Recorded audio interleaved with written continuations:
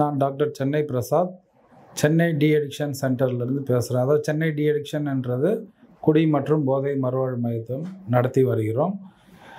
YouTube Dinakaran YouTube நேயர்களுக்கு வணக்கம்.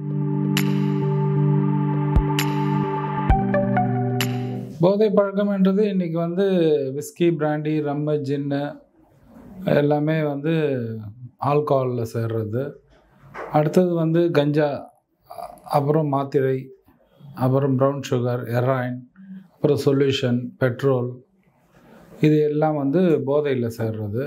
குடி போதையில் இது ரெண்டு விதமான விஷயங்கள் இருக்குது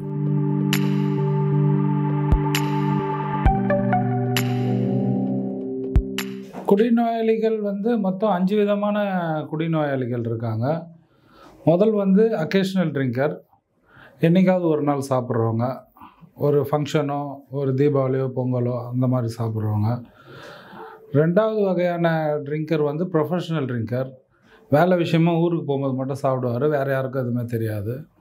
மூணாவது ட்ரிங்கர் சோஷியல் ட்ரிங்கர் தினமும் குடிப்பார் அந்த டைமுக்கு குடிப்பார். மறுநாள் காலையில் அவர் எழுந்து அவரோட வேலைகளை பார்ப்பார் அவர் குடும்பத்தை பார்க்கணும். நாலாவது வந்து பிஞ்ச் ட்ரிங்கர் ஒரு பத்து நாள் குடிக்கிறது ஒரு ஒரு மாதம் விடுறது இல்லை ஒரு ஒரு மாதம் தொடர்ந்து குடிக்கிறது ஒரு ஆறு மாதம் விடுறது. இப்படி இருக்கிறவங்க பெஞ்ச் ட்ரிங்கர் அடுத்தது அஞ்சாவது ட்ரிங்கர் தான் ப்ராப்ளம் ட்ரிங்கர் அதாவது தினமும் குடிக்கணும். இருபத்தி நாலு மணி நேரம் குடிக்கணும். பகல்லே குடிக்கணும். இன்றைக்கி என்ன கிழமை என்ன நாள் தெரியாது. பசங்க என்ன படிக்கிறாங்க? வீட்டில் என்ன சமைச்சாங்க? எதுவுமே தெரியாது. அவங்க தான் ப்ராப்ளம் ட்ரிங்கர் இந்த அக்கேஷ்னல் ட்ரிங்கரில் இருக்கிறவங்க தான் ப்ராப்ளம் ட்ரிங்கராக ஆகிறது. ப்ராப்ளம் ட்ரிங்கராக ஆன பிறகு நம்ம வெளியிலேருந்து இதுக்கு சிகிச்சை கிடையாது. இதுக்கு உள்ளே வந்த பிறகு தான் சிகிச்சை. மொத்தம் இந்த அஞ்சு விதமான ட்ரிங்கர்ஸு இருக்காங்க. இதில் வந்து இன்னும் பல விதமான ட்ரிங்கர்ஸ் இருக்காங்க. அதாவது யாராவது வாங்கி கொடுத்தா குடிக்கிறது இல்லைனா வந்து ஃபங்க்ஷனுக்கு போனால் குடிக்கிறது சண்டே மட்டும் குடிக்கிறது. அது மாதிரி நிறைய வகை இருக்காங்க. ஆனால் மெயினாக வந்து இந்த அஞ்சு விதமான ட்ரிங்கர் தான் அதிகமாக இருக்கிறது. குடிநோயிலிருந்து விடுபட நம்ம எல்லாத்துலேயும் சொல்கிற மாதிரி தான் இதுக்கு வந்து மருந்து மாத்திரை லேகியம் பவுடர் இந்நோயை குணப்படுத்த முடியாது இதன் மூலமாக ஏன்னா வந்து இதெல்லாம் வந்து போலித்தனமான விஷயங்கள் தான் இப்போ வந்து அடிக்ஷன் கில்லர் பவுடர் கொடுக்குறாங்க. காஃபியில் கலந்து கொடுக்கலாம் சாப்பாடில் கலந்து கொடுக்கலாம். அந்த மாதிரி எந்த ஒரு விஷயமும் கிடையாது. ரெண்டாவது வந்து லேகியம் தரேன் இல்லை வந்து மருந்து எடுக்கிறேன். சூனியம் வச்சுருக்கிறதுனால தான் குடிக்கிறாரு. அப்படின்னு சொல்கிறதுனால பண்ணுறது அந்த மாதிரியான எந்த விஷயங்களும் கிடையாது. மருத்துவமனைக்கு போனாலும் இதை குணப்படுத்த முடியாது. இதுக்கு முறையான சிகிச்சை மறுவாழ்வு மையங்கள் வந்தால் தான் அதாவது குடி மற்றும் போதை மறுவாழ்வு மையம் எங்கே இருக்குதோ அங்கே போய் சேர்ந்தால் மட்டும்தான் இதிலிருந்து விடுபட முடியும். ஏன்னா மருத்துவமனைக்கு போனால் என்னை உடல் மட்டும் நான் ரெடி பண்ணிக்கலாமே தவிர எனக்கு வந்து இதிலேருந்து எப்படி விடுபடணும்லாம் மருத்துவமனையில் சொல்லித்தர போகிறதில்ல இதுக்கு முறையாக டி அடிக்ஷன் ரிஹாபிலிட்டேஷன் சென்டர் அதாவது மறுவாழ் மையங்கள் சென்றால் மட்டும்தான் ஒருவர் குடியிலிருந்து விடுபட முடியும். இது வாலண்டரியாக வந்து யாரும் வந்து அட்மிஷனும் ஆக மாட்டாங்க. ஏன்னா வந்து இது ஒரு சோகத்து சோகமாக இருந்தாலும் அதுக்குள்ளே ஒரு சுகம் இருக்குது அதனால் வந்து யாரும் வாலண்டரியாக அட்மிஷன் ஆக மாட்டாங்க. எங்களுக்கு ஃபோன் பண்ணால் நாங்களே வந்து அவரை அழைச்சிட்டு வருவோம். இந்தியா முழுவதும் எங்களுடைய சேவை இருக்குது இருபத்தி நாலு மணி நேரமும் சேவை இருக்குது ரிஹாபிலிட்டேஷன் வந்தால் மட்டும்தான் அவருக்கு கவுன்சிலிங் மூலயமாவோ கிளாஸஸ் மூலயமாவோ புரிய வைப்போம். புகையிலை ஏதாவது சிகரெட்டு அது புகையிலை வந்து ரொம்ப தீங்கான ஒரு விஷயம்தான். அதாவது எப்படி சொல்கிறதுனா இப்போது சில பேருக்கு பேப்பர் படித்தா தான் பாத்ரூம் போவாங்க. இல்லை ஒருத்தவங்க காஃபி குடித்த பேருக்கு பாத்ரூம் போவாங்க. சிகரெட் பிடிக்கிறவங்களுக்கு சிகரெட் பிடிச்சா தான் பாத்ரூம் வரும். அந்த மாதிரியான ஒரு செயல்கள் இருக்குது சிகரெட்னால நமக்கு விஷயங்கள் என்ன நமக்கு பாதிக்குதுன்னா உடலில் நுரையீரல் பாதிப்புகள் தான் அதிகம். அதுக்கப்புறம் வந்து சுவை தெரியாது. என்ன சாப்பிட்டாலும் சுவை தெரியாது. இது மூலயமா கேன்சர் வர்றதுக்கு மவுத் கேன்சர் வர்றதுக்கு வாய்ப்புகள் இருக்குது அதிகமாக பட்டு cigarette addiction is more than alcohol addiction அதாவது சிகரெட்டு தான் ரொம்ப அதுலேருந்து வெளியில் வர்றது ரொம்ப கடினமான ஒரு விஷயமா இருக்குது one day at a time தான். அதாவது இன்றைக்கி வேண்டாம் நாளைக்கு பார்த்துக்கலாம் அப்படின்னு சொல்கிறது தான். இப்போ ஆரம்ப ஸ்டேஜ் ஸ்மோக்கர்ஸ்லாம் வந்து இந்த சீவிங்கம் அந்த மாதிரியான விஷயங்கள்லாம் இருக்குது.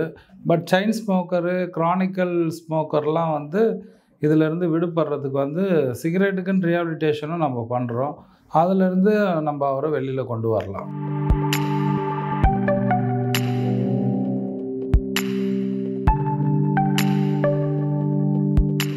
அதாவது மறுவாழ் மையங்களில் சேர்க்கலாமா வேண்டாமா அப்படின்றது மறுவாழ் மையம் சேர்த்தா தான் அவர் அதிலிருந்து விடுபட முடியும். நிறைய பேருக்கு இப்படி ஒரு மறுவாழ் மையம் இருக்குது அப்படின்னு தெரியாது.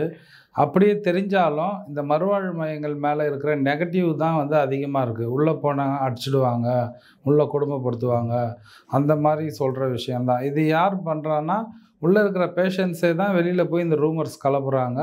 அந்த பேஷண்ட்ஸு பாதி சிகிச்சையிலேருந்து ட்ரீட்மெண்ட் பாதி ட்ரீட்மெண்ட்லேருந்து முழுமையாக அல்லாமல் பாதி சிகிச்சையிலேருந்து விடுபடும் போது அவர் திரும்பவும் போய் அந்த மாதிரி சொல்லிடுவார். இதுதான் இன்றைக்கி அப்படியே சமூகத்தில் பரவிடுச்சு. மறுவாழ் மையங்கள்லாம் அடிப்பாங்க. மறுவாழ் மையங்கள்லாம் குடும்பப்படுத்துவாங்க அப்படின்னு. அவர் ஏன் அந்த மாதிரி ரூமர்ஸ் கலப்பலாம் அப்படின்னு நீங்கள் கேட்கலாம். திரும்ப அவர் இந்த மாதிரி ஒரு இடத்துல சேர்த்துடக்கூடாது. ஏன்னா பிகாஸ் இங்கே வந்து லாக்டு பிளேஸு வெளியில் வர முடியாது. குடும்பத்தை விட்டுட்டு இருக்கணும். நம்ம அவர் எப்போ நல்லா இருக்கிறாரோ அப்போ தான் நம்ம அவரை வந்து பார்வை அவங்க குடும்பத்தில் இருக்கிறவங்கள பார்வை பார்க்க விடுவோம் நம்ம விசிட்டர்ஸு அதனால் இந்த மாதிரியான விஷயங்கள் இருக்கிறதுனால அவங்க இந்த மாதிரி ரூமர்ஸ் கலப்புறாங்க பட் மறுவாழ் மையத்துக்கு போனால் மட்டும்தான் இதுக்கு வந்து விடிவு காலமே தவிர நான் வந்து வெளியிலேருந்து விட்டுடுறேன் நாளிலிருந்து விட்டுடுறேன் தீபாவளிலேருந்து விட்டுடுறேன் பொங்கல்லேருந்து விட்டுறேன்னு சொல்லுவாங்க.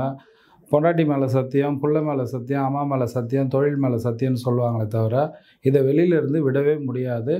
ஏன்னா நாங்கள் பதினஞ்சு ஆண்டுகளாக இதை வந்து நாங்கள் பண்ணிட்டு வரோம்.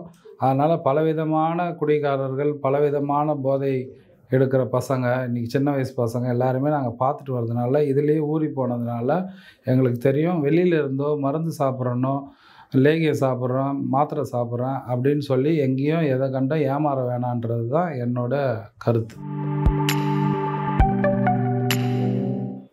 போதைக்கு அடிமையாகிவிட்டாங்க அப்படின்னா அது இல்லாமல் அவங்களால இருக்க முடியாது. அதாவது ஆரம்ப காலத்தில் வந்து நம்ம தூக்கம் வரலன்னு சொல்லி குடித்தோம் கடைசி காலத்தில் எவ்வளோ குடித்தாலும் தூக்கம் வராது.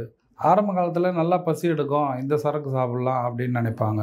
கடைசி காலத்தில் சாப்பாடே இல்லாமல் ஃபுல்லாக சரக்குலேயே தான் இருப்பாங்க. அதாவது சரக்குன்றது ஆல்கஹால் நான் சொல்கிறது அதே மாதிரி போதை எடுக்கிறவங்களும் அதே தான். கஞ்சா வந்து முதல் பசங்க ஷேரிங்கில் போகும்போது தெரியாது. சீக்கிரமாக அடிக்ஷன் ஆக மாட்டாங்க. குடியும் சரி போதையும் சரி ஆரம்பத்தில் கும்பலாக ஒரு ஃப்ரெண்ட்ஸோடு சேர்ந்து தான் ஆரம்பித்தாங்க இல்லை மனைவி சொல்கிறது நீங்கள் வீட்டிலே வாங்கிட்டு வந்து அடிங்க. நான் வந்து சைடிஷ் செஞ்சு தரேன் அப்படின்னு சொல்லி அந்த ஃப்ரீனஸ் கொடுத்து கொடுத்து தான் இது வந்து அடிமையாகிறது. ரெண்டாவது இது நோய். இது வந்து பழக்கமோ ஒரு வேறு ஜாலியோ சோகமோ கிடையாது. இது வந்து குடி என்பது ஒரு நோய். ஆல்கஹால் இஸ் த டிசீஸ் அப்படின்றது அமெரிக்கன் மெடிக்கல் அசோசியேஷன் சொல்லிட்டாங்க. அப்போ இந்த நோயை வந்து நான் குணப்படுத்த முடியும். கண்டிப்பாக நிறைய பேர் வந்து சொல்லுவாங்க குணப்படுத்த முடியாது. நோயை குணப்படுத்த முடியும். அதுக்கு உண்டான வழிமுறைகளை தான் இந்த சென்னை டி அடிக்ஷன் சென்டர் செய்கிறோம்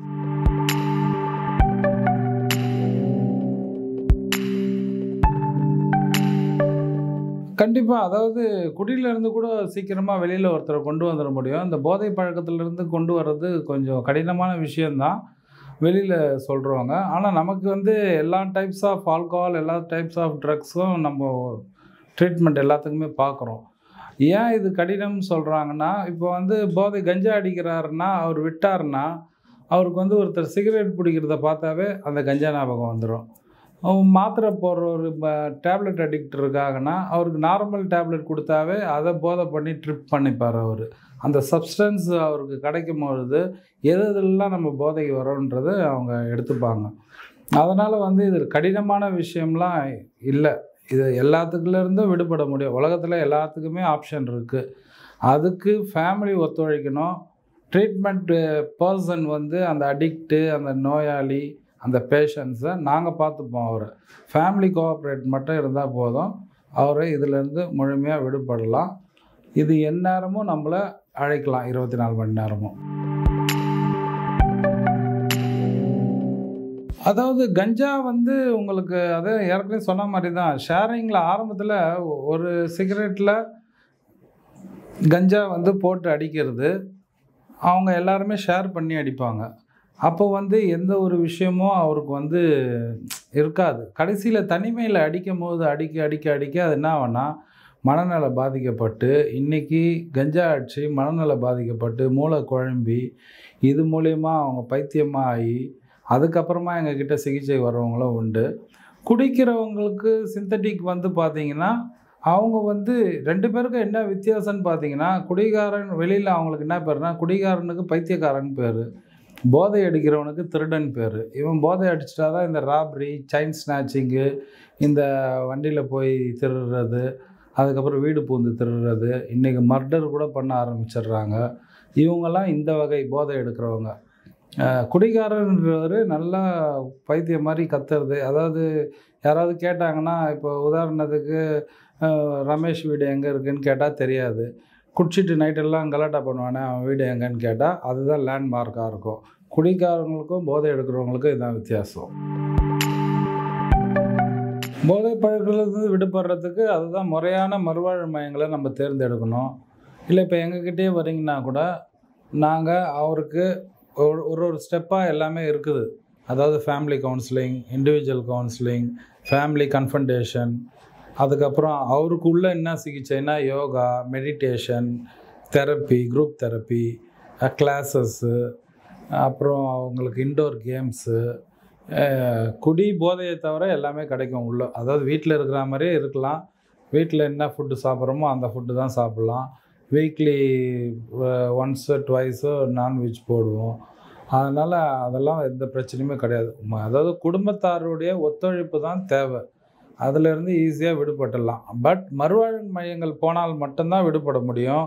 மருத்துவமனைக்கு போனால் விடுபட முடியாது. திரும்ப ஒரு வாட்டி சொல்கிறேன் கயிறு கட்டுறது கோயிலுக்கு போகிறது மாஸ்க் போகிறது சர்ச் போகிறது எல்லாருக்குமே அவங்கவுங்களோட இறைவன் நம்பிக்கை இருக்குது.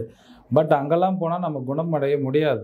கடவுள் தான் நமக்கு இந்த வழியை காட்டுறாருன்னு நினச்சிட்டு நம்ம இங்கே வந்து முறையான சிகிச்சை எடுத்துக்கணும். எங்கள் அப்பா இப்படி இருக்காரு எங்கள் அண்ணன் இப்படி இருக்காரு என் தம்பி இப்படி இருக்காரு என் வீட்டுக்கார் இப்படி இருக்காரு அப்படின்னு நீங்கள் சொல்கிறதுக்கு எந்த அச்சமோ கூச்சமோ பட தேவையில்ல. நீங்கள் ஒத்துழைத்தால் மட்டும் போதும். நாங்கள் உதவுறதுக்கு இருபத்தி நாலு மணி நேரமும் உங்களுக்கு வேலை செய்கிறதுக்கு ரெடியாக இருக்கிறோம். குடிபோதையிலேருந்து விடுபடுறதுக்கு இதுதான். மறுவாழ்வு மையங்கள் தான் முறையான சிகிச்சை. இந்த Chennai de addiction centre for rehabilitation alcohol addiction and drug அடிக்ஷனுக்காக treatment centre தான் இது. இது வந்து சென்னை மாங்காடில் இருக்குது. நீங்கள் தொடர்பு கொள்ள வேண்டிய தொலைபேசி எண்கள் ஒன்பது நான்கு நான்கு நான்கு ஐந்து ஒம்பது ஐந்து ஆறு ஏழு எட்டு ஒம்பது இன்னொரு எண் வந்து ஒன்பது ஒன்பது ஒன்பது எட்டு ஏழு எட்டு ஒன்பது ஒன்று நான்கு ஒன்று இந்த டி சென்னை டி அடிக்ஷன் வந்து கடந்த பத்தாண்டுகளாக ப பண்ணிட்டு வரோம் நம்ம வந்து போலியாக வந்து இல்லாமல் ஒரு முழுமையாக அந்த ட்ரீட்மெண்ட் எல்லாருக்கும் முடித்து எல்லாரையும் அனுப்புறதுனால தான் இது இத்தனை வருஷமாக நாங்கள் செய்ய முடியுது மக்களோட உதவியோட. ரெண்டாவது இந்த டி அடிக்ஷன் சென்டர் வந்து நாங்கள் ஆரம்பித்தது வந்து நம்மளை மாதிரி எத்தனை பேர் இந்த மாதிரி குடும்பத்தில் இருக்காங்க எவ்வளோ குடும்பத்தில் இது மாதிரி கஷ்டப்படுறாங்க அப்படின்றதுக்காக தான் இதை ஆரம்பித்தது நாங்கள் நிறைய விருதுகளும் வாங்கியிருக்கோம். நீங்கள் வந்து ஆப் ஸ்டோரில் போய் கூட சென்னை டி அடிக்ஷன் சொல்லி அந்த ஆப்பை டவுன்லோட் பண்ணிக்கலாம். சோஷியல் மீடியாலேயே எல்லா இடத்துலையும் இருக்கிறோம். இன்ஸ்டாகிராம் ட்விட்டர் அப்புறம் ஃபேஸ்புக் அப்புறம் லிங்க்டின் எல்லாத்துலேயுமே வந்து நீங்கள் போய் சென்னை டிஅடிக்ஷன் சென்டர் போட்டாவே எங்களுடைய முழு தொ டீட்டெயில்ஸும் உங்களுக்கு வந்துடும் நீங்கள் வந்து எந்த ஊரில் இருந்தாலும் சரி எத்தனை மணி இருந்தாலும் சரி நாங்கள் வந்து அவரை அழைச்சிட்டு போவோம். சேர்க்குறவங்களுக்கு தெரிஞ்சால் போதும். நோயாளி அதாவது பேஷண்ட்ஸுக்கு இது தெரியாமல் நம்ம பார்த்துக்கணும். மற்றபடி நம்ம முழுமையாக இங்கே வந்து அவர் ஒரு நல்ல மனிதராக உங்களுக்கு நாங்கள் திரும்ப உங்கள் கையில் கொடுப்போம்.